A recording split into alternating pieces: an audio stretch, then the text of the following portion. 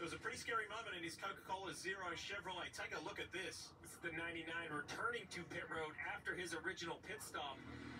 And the car erupts into flames. On his pit stop, there was some fire during the pit stop, but we have seen that before where a spark will catch a little bit of excess fuel on fire, but this is much more severe than that. I don't know if fuel got spilled into the trunk area and it caught on fire, but as he got closer and closer to pit road, you see just how the severe the fire Jeff, I would have instantly out of the car. Marty. Yeah, Steve, I think right now there's more questions than answers. A lot of people are saying, what exactly happened? I have to